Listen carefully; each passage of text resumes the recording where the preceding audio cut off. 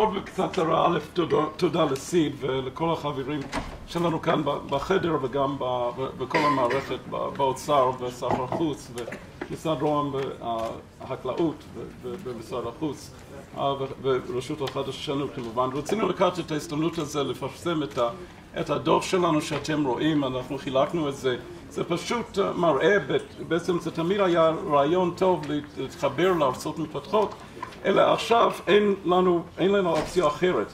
בעצם הביקוש המצרפי העולמי זה בעצם מורכז בארצות האלה ואנחנו רוצים לראות צמיחה במשק שלנו וגם במשקים שונים.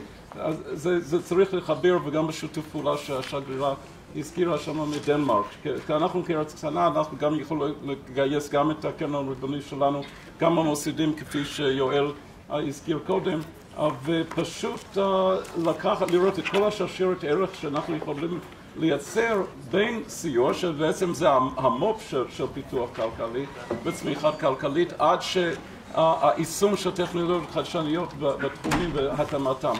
אז אני מודה לכם על ה... בקצרה, פשוט זה בעברית גם כן